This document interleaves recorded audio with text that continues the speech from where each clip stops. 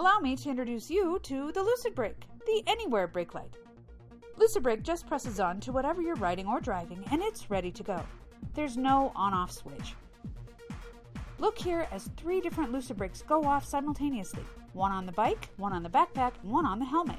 LucidBrake has a clear waterproof coating to protect the circuitry and battery clips that won't corrode even if they get wet. LucidBrake is made to be completely waterproof, even on watercraft. Imagine the first ever boat brake light. Pretty cool, huh? We wanted to keep the unit as lightweight as possible, as the professional racing cyclists requested. We also didn't want the use to be exclusively to bicycles, so we took the plastic off the back making it flat so that a LucidBrake could be mounted anywhere, like on a bicycle helmet, or a bumper, or a ladder. We did, however, design an optional top cover which makes it look more sleek. Check around the LucidBrake website for what else we have envisioned for this top cover. Get 10 or more and have your logo put directly on the LucidBrake cover itself. Bike clubs, corporate sponsors, riding patrols, club sponsored safety events? LucidBrake can show you care. We wanted LucidBrake to be seen from as far away as possible.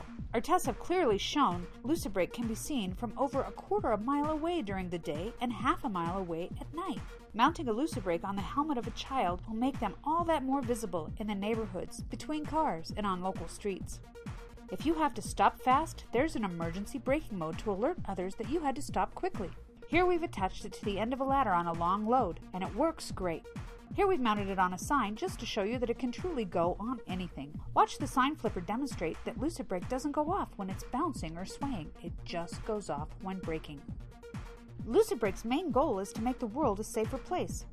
Please share this with all the people that you care about keeping safe. Here's to you and getting there safely.